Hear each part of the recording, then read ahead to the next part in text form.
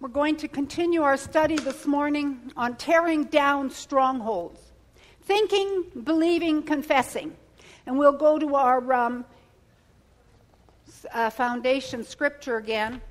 I'm going to read it in the New Living Translation, 2 Corinthians 10 3 to 7. 2 Corinthians 10 3 to 7, New Living Translation. We are human, but we don't wage war with human plans and methods. We use God's mighty weapons, not worldly weapons, to knock down the strongholds of human reasoning and to destroy false arguments. With these weapons, we break down every proud argument that keeps people from knowing God. With these weapons, we conquer their rebellious ideas and teach them to obey Christ. And we will punish those who remain disobedient after the rest of you became loyal and obedient. Look at the obvious facts. Those who say they belong to Christ must recognize that we belong to Christ as much as you do. So we're looking at strongholds. Number one, accept, believe, and receive God's word as truth. Accept means to believe or come to recognize as valid or correct. We have to realize that God's word is truth. There's no truth outside of God's word. None. Zero. There might be facts, but the facts have got to change. I am the way, the truth, and the life, and no one comes to the Father but by me, so there's no other way to get to God but by Jesus. And His word is truth. And it's the truth in John 8, it says, the truth will make us free. So, um, then one, we saw that God's word is truth. That's the only truth. Number two, we saw that there's two kingdoms. In Matthew 6:33 it says seek ye first the kingdom of God and his righteousness and all these things shall be added unto you. Don't be like the heathen who operate in the kingdom of this world. Satan is god of this world system not of the earth. He doesn't own the earth. He's God of the world system. So there's two kingdoms there's God's kingdom, and there's the world's kingdom, of which Satan is Lord. And so when we're tearing down strongholds, what we're doing is we're coming against the thoughts of this world, the way the world does things, the way the world thinks, and changing it to the way God thinks. So we had looked at that we saw that we're, we're translated, Colossians says we're translated out of darkness into light. So I, my question was, what kingdom are you promoting with your time and resources?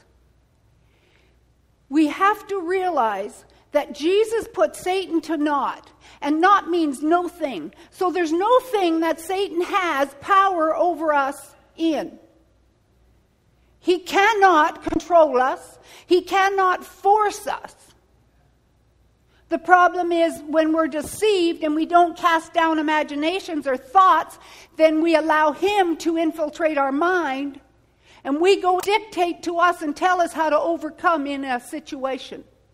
They don't know because we're spirit, soul, and body. And the world deals with your soul and your body. They have no idea about the spirit realm. So we saw that. We're translated out of darkness or out of the kingdom of darkness into the kingdom of light. We saw we're to run our race. We're to press, fight the good fight of faith, contend, defend, fight for, engage in a competition for. Then we saw that bad choices lead to toxic thinking. Proverbs says, He who heeds instruction and correction is not only himself in the way of life, but also is a way of life for others. When we walk in the Word of God, we're a way of life. We're a light to others. And when we reject or refuse reproof, we not only ourselves go astray, but also those that we have dealings with, we cause to go astray. The impact of toxic thinking research shows that 75 to 98% of mental, physical, and behavioral illnesses come from our thought life. So let, I'm going to read this attitude thing again. Attitude, positive or negative. Life goes in the direction of our most dominant thought. Remember, what our dominant thought, whatever is our main thought. Words produce our thinking. Our thinking will produce our emotions or feelings. Our emotions or feelings will produce our decisions. Our decisions will produce our actions. Our actions will produce our habits. Our habits will produce our character. Our character will bring us to our destiny. The negative. Negative words produce negative thinking.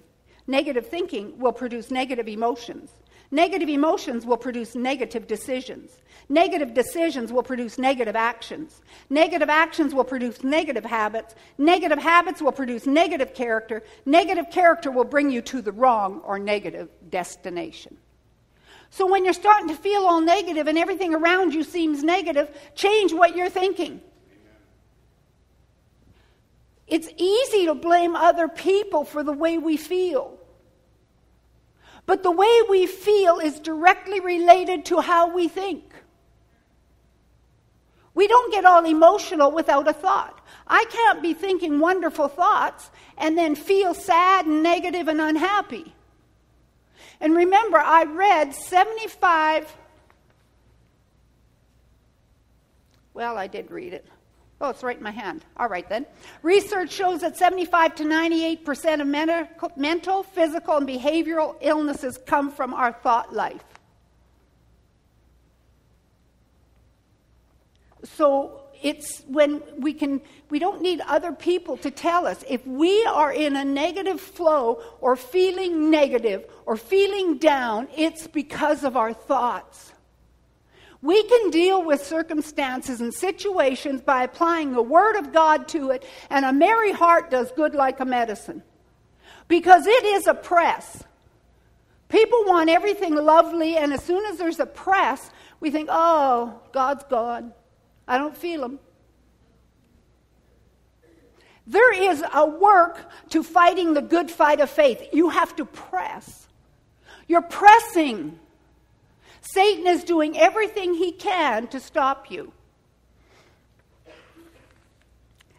So let's see. Sense the strongholds are created by sense or carnal thoughts. These lies create mental and emotional strongholds. And then we saw where to cast down, pull down, demolish subtle reasoning of the adversary. Imaginations, a reasoning such as is hostile to the Christian faith. Take captive, just incarcerate those thoughts. We're to take thoughts captive, not the devil.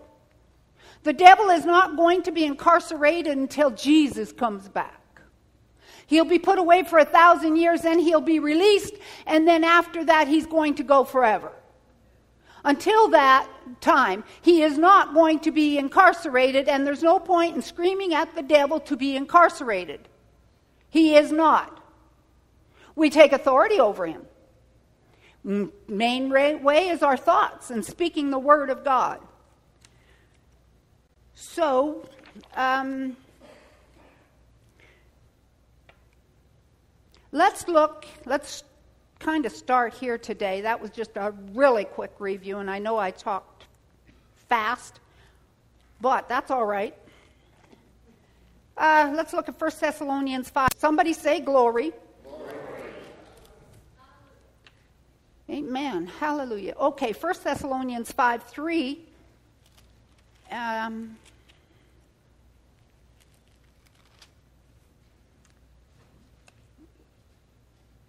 the King James says, For when they shall say peace and safety, then sudden destruction cometh upon them, as travail upon a woman with child, and they shall not escape. But you, brethren, are not in darkness, that that day should overtake you as a thief. You are children of light and children of the day. We are not of the night nor of darkness. The New Living Translation of verse 3 when people are saying all is well, everything is peaceful and secure, then disaster will fall upon them as suddenly as a woman's birth pains begin when her child is about to be born, and there will be no escape. Now, I understand a lot of that's referring to um, the rapture, the end times, etc. But I want to take this and reading the whole thing because we're children of light, not darkness. And we've already previously studied those other scriptures pertaining to that. There is this idea that everything's nice around us. And so then we're lulled into this sleep. And everything seems peaceful. And then all of a sudden, bango, you hit the wall. And now you're scrambling. What do I do?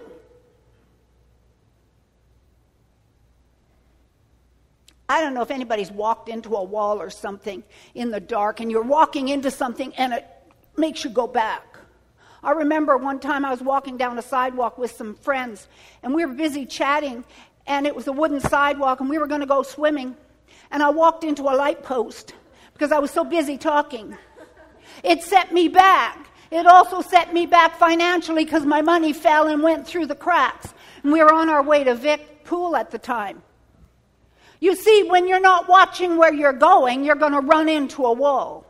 And if you're not fighting the good fight of faith, casting down imaginations, you're going to run into a wall and you won't know where you're going. There's only one way to know where you're going, and that's with the Word of God.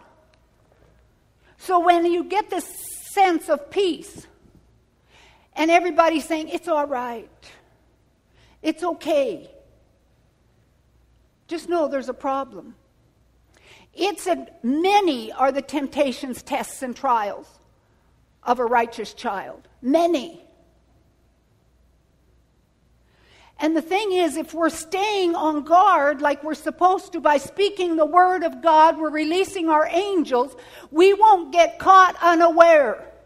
The word says we won't get caught unaware. It's only when we kick back and think everything's fine and I don't have to do anything, we will get caught unaware. And I remember some time ago, Charles Capps said, Build your foundation and keep working on it. It's easier to pour concrete for your foundation when it's dry than in a flood. And how many agree? When you're in the midst of a big deal, it's hard to get back at it. But if you've already planted that foundation in you and you're working it all the time, it's just like you know Satan's been come to naught, so it's just like a fly. You just, you're gone. And that's the casting down of imaginations. You see, we have to identify our enemy and how he works. And he doesn't come dressed in ugly clothes or a red suit.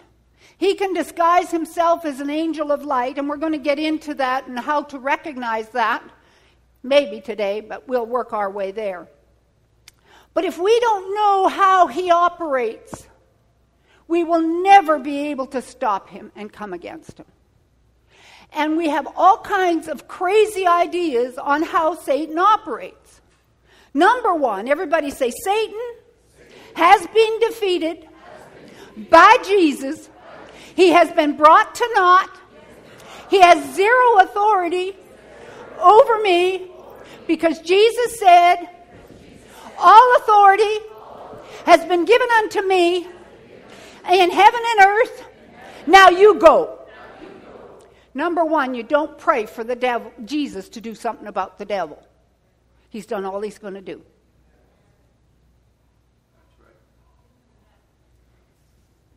Satan's only weapon, and we find that in Genesis chapter 3, is when he spoke to Eve and got her eyes focusing on what she shouldn't have. And then she realized that what she was looking at might be good. He does it through thoughts, either our own or from other people it can be somebody that you trust and think are so great, and they come up and say, You know, I'm just speaking this over you, and this is what it should be.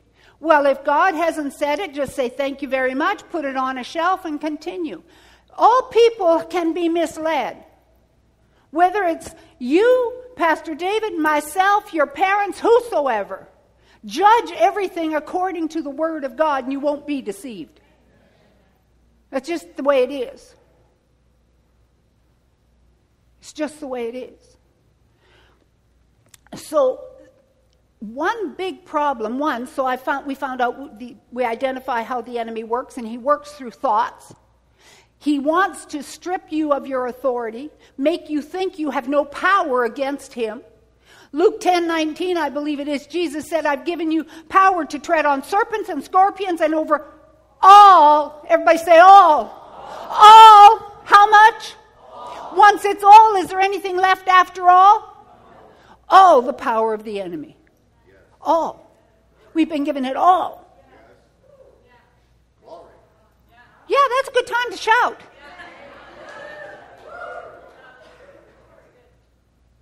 So when somebody comes along or Satan comes along and says, You're just not going to make it, is that a truth or a lie? It's a lie. You know that. He has zero authority to enforce in your life. None. This is so important to remember. Because people are talking and reacting to the devil as though he's riding this white horse and, and he's king of the mountain. He wants you to think he's king of the mountain. But he really, his authority, we're seated with Christ in heavenly places, far above all principality, powers, rulers of the darkness of this world, wicked spirits in heavenly places. Where, where? He, that means under our feet. He's under our feet. His authority is under our, our authority. Our authority that we have from Jesus is above the devil's authority. Hallelujah. So that's a stronghold we have to tear down that he's this person that's so wonderful. He's lost all his authority. He's a thief. And he cannot work in this earth except through a body. You wonder why some people are so crazy because they've given themselves over to the devil. If Satan couldn't get anybody to cooperate with him, there would be nothing ugly in this earth. He needs people to work through. You cannot operate in this world without an earth suit, and your earth suit is your body. So now, let's go back to, we're going to look at Romans 11. Romans 11. Another, th- as you're going there, Romans 11, there is this false sense of security often with the world system where they look at the situation and then they say, if you do this and this and this, everything will be okay. But the world system doesn't have your answer. The Word of God has your answer. Because they're treating your body and your soul, they don't know you're a spirit person, and they're treating it according to what the world would do. And eventually, th- when they don't know what to do, they give you drugs. They do. I mean, they do and, and, and you go there and they say, well, then it must be this and it must be that. Well, how about if we try this drug? And then you get this long list. If you take it, it could kill you. So, what are the, what's worse? You know, the symptoms are so bad. I'm not telling anybody to get off their medication. We're not talking about that. But when you have a problem and you go, they want to try and examine your mind. And one of the favorite things they like to do is make you go back in your past and go through all this trash that Jesus has redeemed you from. And the more you talk about your problem, the worse it's going to get and the more real it's going to be. We don't have problems, we have answers by the Holy Ghost.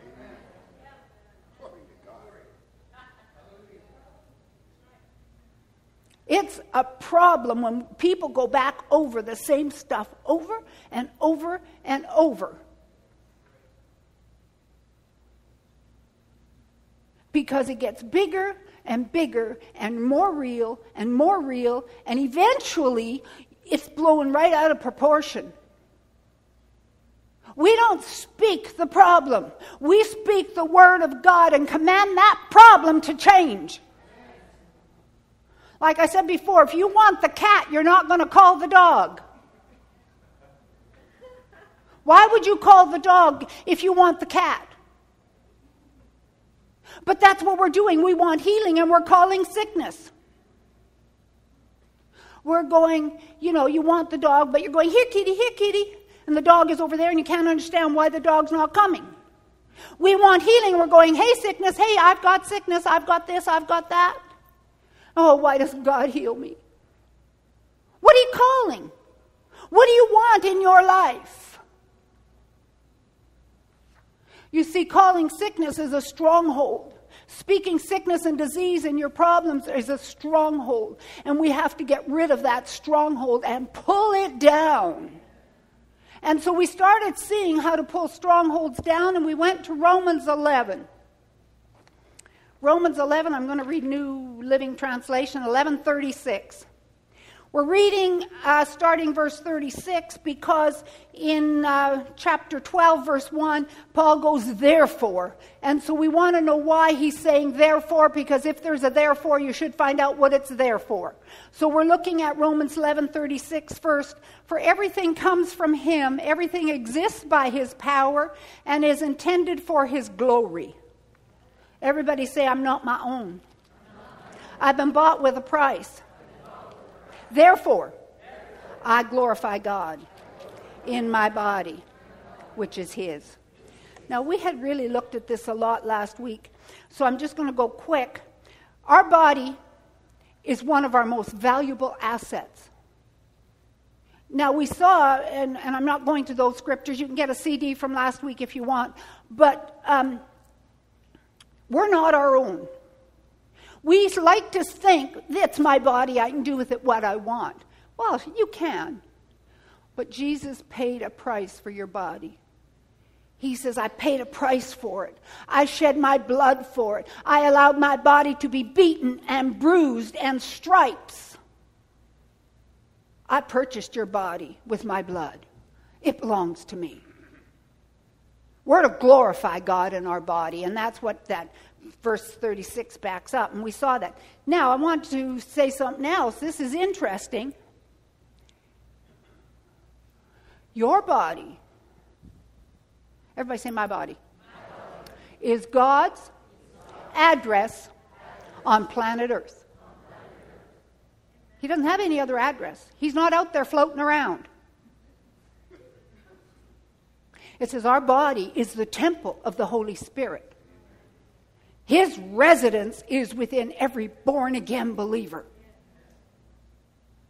So where I go, Holy Spirit goes. Everywhere I go. Everything I look at, Holy Spirit looks at. Now, when you look and read Solomon's temple and even the tabernacle in the wilderness, the things they did to make it so beautiful for the Shekinah glory in the Holy of Holies. Our body houses the Shekinah glory of God. It says we have this treasure in earthen vessels. What you do to your body is very, very important. How you look after your body is very important. To the point where, let's read verse 1 of chapter 12. I beseech you, therefore, and he's begging you, by the mercies of God, that you present your body a living sacrifice, wholly acceptable unto God, which is your reasonable service. It's just reasonable that you present your body to God. You see, the vessel takes its value from what is in it. Now, if I had, I, I should have gotten two juice containers one with water and the other full of paper towel. Now, if you've been in the desert and you're dying of thirst, which juice container is more valuable? The water. Which one would you pay the higher price for? The water. The juice jugs are the same, they're of the same value. The containers are the same value, but what's in it changes the value. And if you're born again, a child of God, your body's His temple, and your body is valuable to Him. And we have got to treat it that way. We're just not a hunk of flesh. slap it down. These bodies will be resurrected, they will be glorified. But while we're walking on this earth, this is God's address. And what I put in it and how I treat it shows my respect for the price He paid for my body.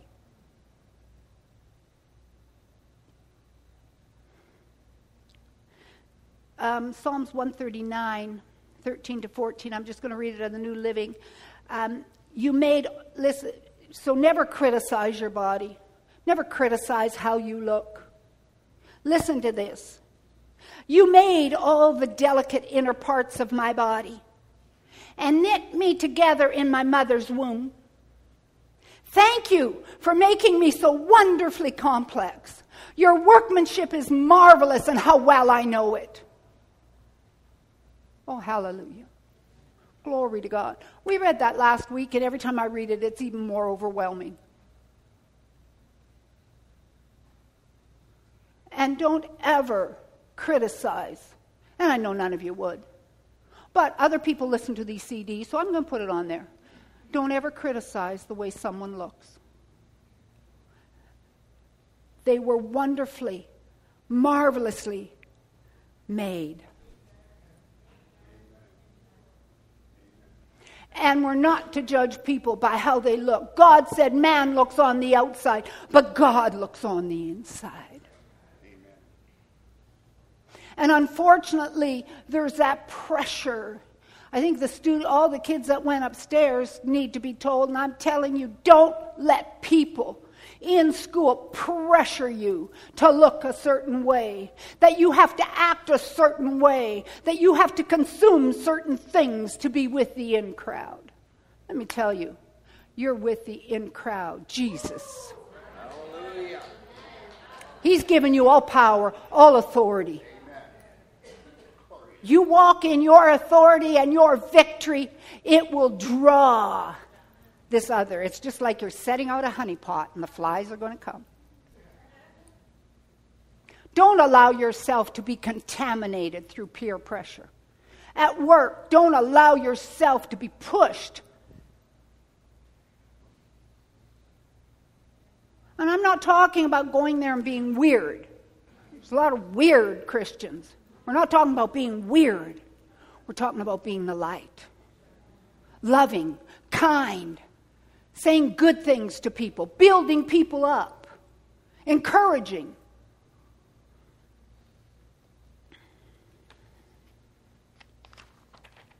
Hallelujah.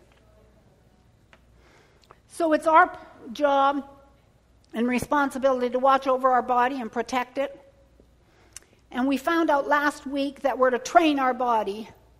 Our bodies can be trained. So we found that out. We found out our body's not meant for sin. Now here let's go to 1 Thessalonians 5:23 please. 1 Thessalonians 5:23. Hallelujah. 1 Thessalonians 5:23. Well, you know what? I think we should no, we'll just go right there, just right to 523. King James, and the very God of peace, sanctify means set you apart holy. And I pray, God, that your whole spirit, soul, and body be preserved blameless unto the coming of our Lord Jesus Christ. New Living Translation. Now may the God of peace make you holy in every way. And may your whole spirit and soul and body be kept blameless until that day when our Lord Jesus Christ comes again. Now we're keeping our body holy and blameless.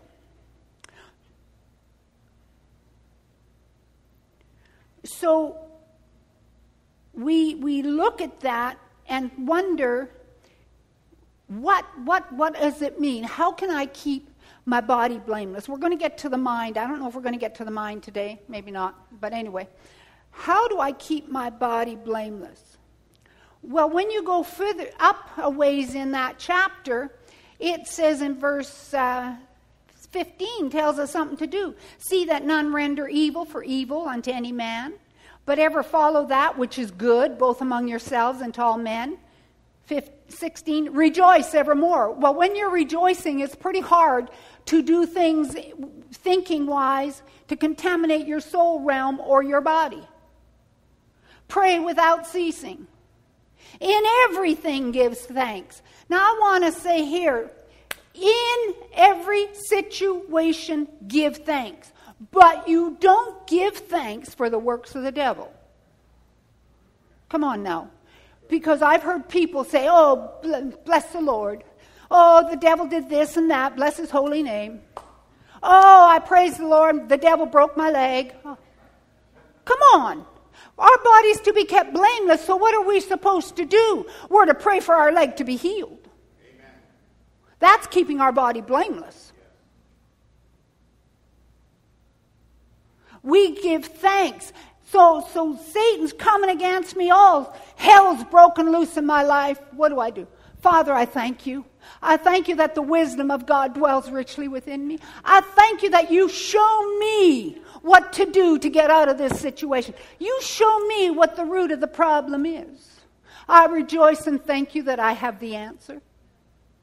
That's how we give thanks in everything, not for. You never give thanks for a situation that's wrong because then you're stuck in it. That's like calling the cat instead of the dog. You give thanks for the answer. You need healing, you give thanks that you're healed.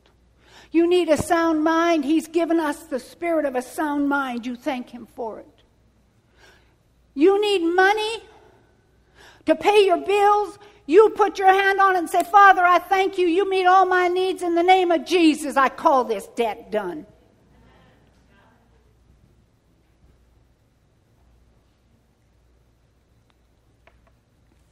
The very God of peace sanctify you wholly, and I pray, God, your whole spirit, soul, and body be preserved blameless. The New Living Translation is keeping our whole spirit and soul blameless until Jesus comes. That means we can be whole, sound. Our spirit, of course, it is when we're born again. We, we become the righteousness of God in Christ. Our soul, which we're going to get at next, is our mind, will, and emotions, and our body should be healed, walking in divine health. And I believe we're getting there. We're getting there. I see it, the body of Christ walking in divine health. No sickness, no disease coming upon us. Might try, but it won't. It will not be able to attach itself to our bodies. Because why? We're just going to sort of introduce this. Um, let's go back to Romans chapter 12. So, part of, cast, of tearing down and casting down strongholds is presenting our body because if we don't train our body, we're going to allow our body to dictate to us and do things and want things it shouldn't. And it's going to be hard to tear down that stronghold. So in Romans 12, verse 2, and be not conformed to this world, but be ye transformed by the renewing of your mind, that you may prove what is that good and acceptable and perfect will of God. Um, New Living Translation. Don't copy the behavior and customs of this world. Oh, that's huge. You know, the body of Christ has its own culture, its own customs. And we get so confused with what a culture is. And we think culture is the way we dress, the way we look, the way we eat. No, that's not your culture. That's just habits you formed because you were raised with it. I remember when David came, I made him a lunch once, and I'm not going to tell you what I put on it. But anyway, I made it, and it was one of the things that we always ate at home, and we thought was really good. And he just tried to be nice, but it boiled down to he, yuck. He did not like it at all, and asked me never to do that again. Well, fine.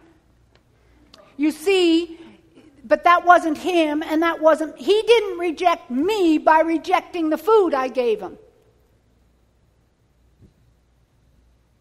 Come on. You see, we all eat the same food in that we share communion. That's what's important. The rest doesn't matter. I don't care what you eat. Well, that's not true. I don't care because I cast my care on the Lord, but I want you all to eat healthy and live long. Let's put it that way. I do. That's my desire for everyone.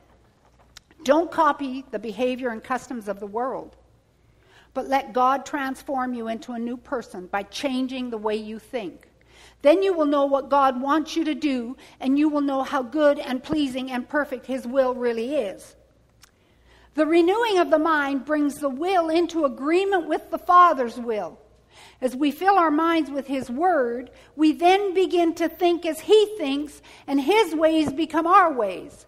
We become, through His power and wisdom, a master of the circumstances of life. How many want to be masters of the circumstances of life?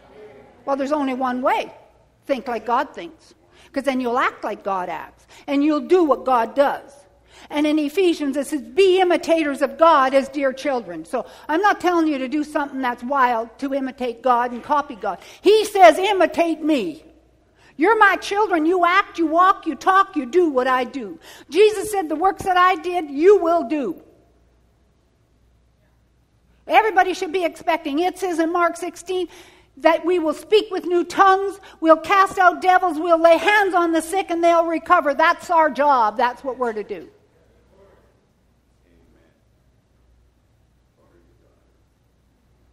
We're to think like God thinks. Now, what is God's will? And often when we think about that, we think, hmm, should I be a doctor, a lawyer? Uh, should I be a student? Should I be this? Should I be that? Well, that is his plan. I call that his plan for your life. What's his will? The blessing. The blessing the blessing, which is the gospel, which is the good news, which is Genesis 1:28. And he blessed them and said, Blessed is not just an inactive word, it's an empowerment. And he said, Be fruitful, multiply, replenish, subdue, and take dominion. That's his will. So, where does sickness and disease fall in? He wants us to subdue it. Healing's His will, prosperity's His will, a sound mind's His will. That's His will. That's His will for every single person that's been bought with a price. He wants us to think like he thinks. Sickness and disease was such a curse that Jesus came and bore it in his body. So we might be free from it, so that that blessing comes on us. We have got to take authority, subdue and take dominion over every sickness and disease. Jesus became poor that we might be rich. We are to take authority over every bit of poverty that comes upon our life.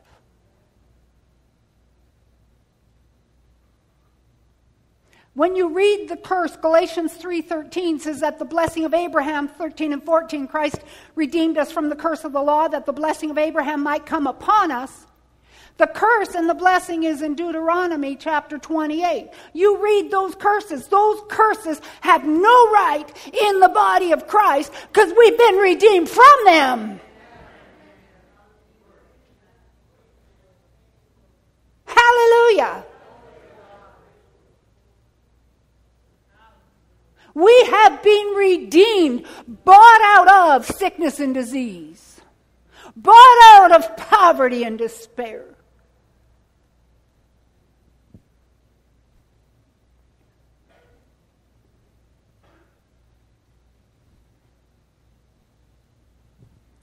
And I want you to get so stirred up when you see the price Jesus paid when you understand what He did and how He redeemed you. I want you to see how you were crucified with him. And in being crucified with him, it's like all that curse that belonged to you. It was put on him and he took yours and you were with him because that's who you were. And he defeated Satan and he ascended on the third day. He paid a price. He suffered and died. So you don't have to have any part of the curse. It's not being humble to allow the works of the devil to infest you and your family. Oh, I'm just suffering for Jesus. No, you're not. You're being lazy and deceived. You have to fight the good fight of faith, and it takes work because you have got to get into the Word of God every day. Every day. Everybody say every day.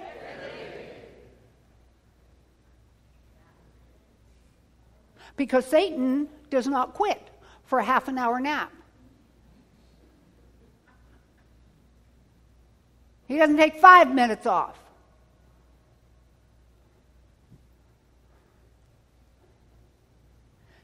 And I know everybody's busy, but our schedules don't just happen. They are created by a series of established priorities. As each day passes, we form our priorities but what, by what we spend our time doing.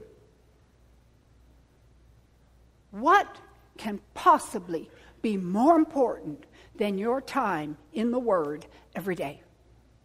And if you have to cut something else out to do it, you can. Just change your schedule, change your priorities. Because if you don't, you're not going to walk in that place of victory because we have to know the word.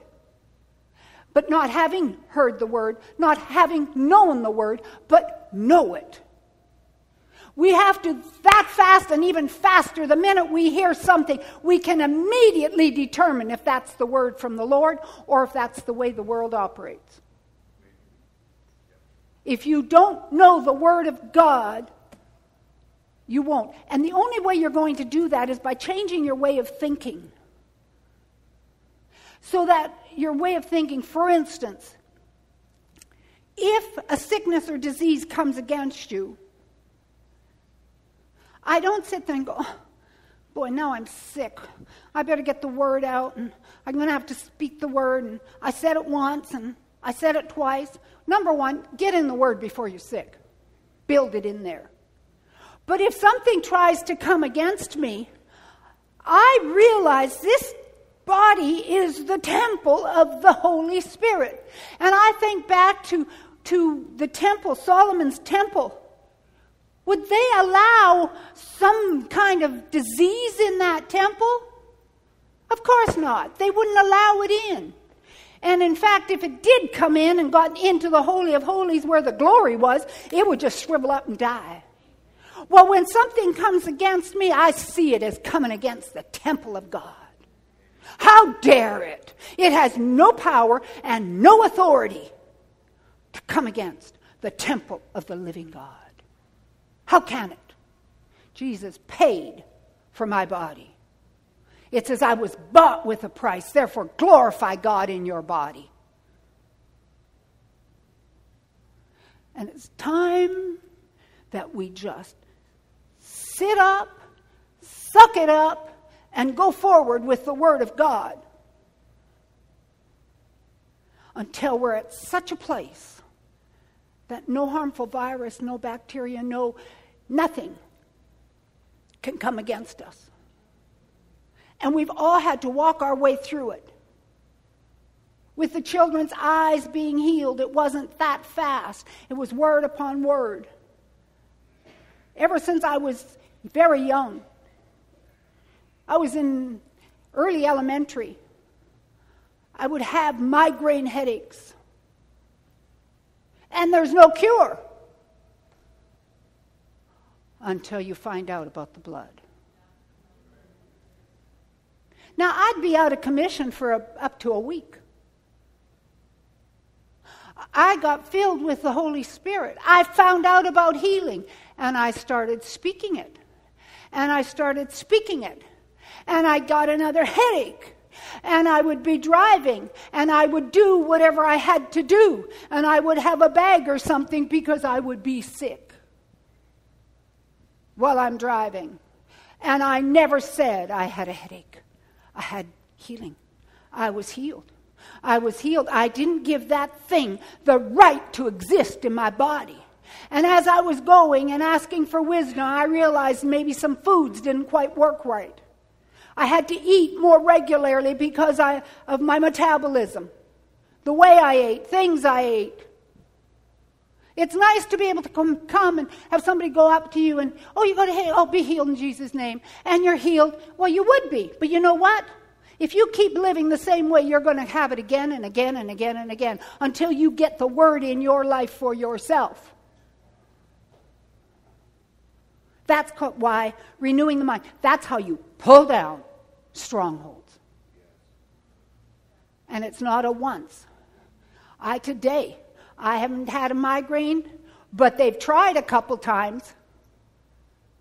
And there's been a couple times I thought, you know, it'd really be nice to just lay in the bed.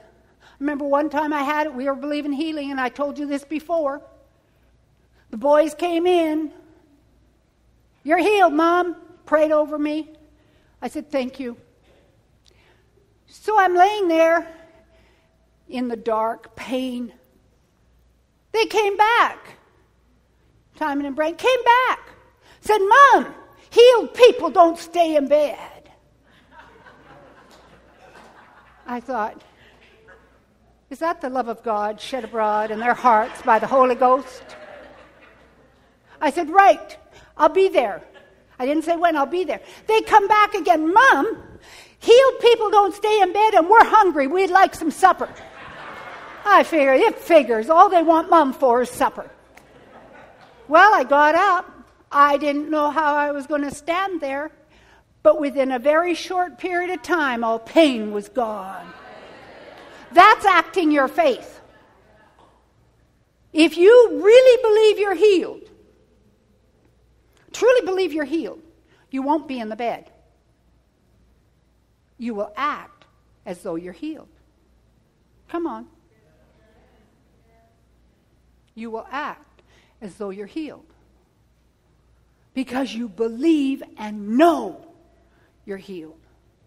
When you're just starting off and you're not quite sure, stay in the bed.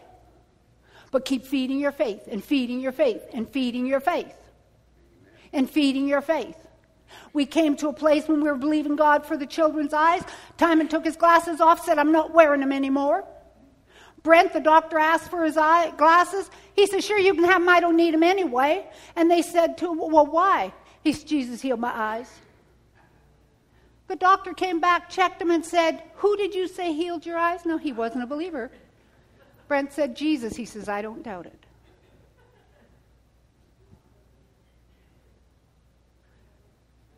It sometime, and I believe time, it's speeding up, it's speeding up, it's speeding up, it's speeding up, and it's faster and faster. But you've got to stand and fight the good fight of faith. And it isn't easy because if it was easy, everybody would be doing it. And we're in a day and age in society where we can pop pills for everything. And where it's fast food and microwave and everything's quick, quick, quick. And so we want God to get on our time schedule. When your faith is there, Jesus is as your faith be it unto you. So that's why we're teaching this to build your faith. Build your faith. Build your faith. Build it. Build it. Keep meditating it. So anytime anything happens, any thought comes that isn't in line with the will of God, with the Word of God, you tear it down. Now, how do you tear it down? Okay, so sickness comes against me. How do I tear that thought down? The thought comes in, oh, Arlene, you're going to get another migraine. You just better settle in. And I had some medication at home and at church, and I didn't realize that it would expire. I don't know what it was, Advil I don't know, one of those kind of things. And I, then somebody said something about, do you know this stuff expires? I thought, oh, really? So I checked my stuff at home. Well, it had expired for a few couple years, threw it away. And then I got the other one at the church here, and it had expired, and I remember buying it just shortly when we moved into the church. So I had to throw it all away. So then I'm shopping, and the thought comes, Arlene, you better get some more medication, because get some more painkiller. What if? What if? What if? Now, if you're in that much pain, you might need to take some pain medication simply so you can stay in the Word. But let me also tell you check. There's a lot of natural substances you can take that are infl- get, that'll fight inflammation and pain. So, anyway, you check those out. But the thought, so when that thought came, my immediate reaction wasn't, oh no, what am I going to do? I have service tonight. Who can I get? I think it was, a, who can I get to teach? Who can I get to pray? Who can I get to do all this stuff? I thought, Jesus never had a day when he couldn't minister because he was never sick. And if I'm his body, I'm never sick. So when something like that comes against you, if you know the will of God and you're thinking, so the thought comes, Arlene, you're going to have another migraine or whatever. I go, Glory to God, Father. I thank you. I'm delivered and redeemed by the curse of the law. Jesus bore all of that for me. I am free from pain. I am free from migraine. They bow their knee to the name of Jesus. That fast. That fast. Now you're thinking like your Heavenly Father thinks. That's how you cast an imagination down. And Jesus said, Take no thought saying. So never, ever say anything that doesn't line up with the Word. And you say, Well, what if I need you to agree with me in prayer because I've got a broken leg? Just say, you know what? I want you to agree with me, Pastor Arlene, that this leg is healed and it gets and it's supernatural fast. I want you to agree with me, my shoulder is healed. I want you to agree with me every harmful virus and bacteria dies instantly when it touches my body. Don't take ownership. Hallelujah. Well, glory to God. I know it's been a long morning. Hallelujah.